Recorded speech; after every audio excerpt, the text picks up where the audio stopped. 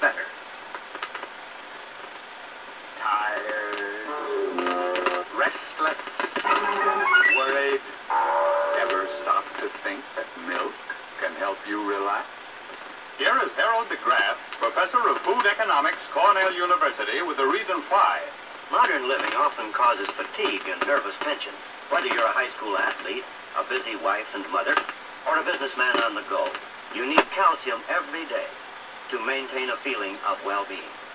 Your body must renew its store of calcium each day with three glasses of milk.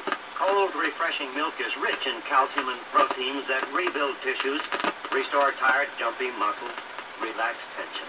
So drink one, two, three. Three glasses of milk every day. You never outgrow your need for milk. Milk is high in protein, high in calcium. And naturally refreshing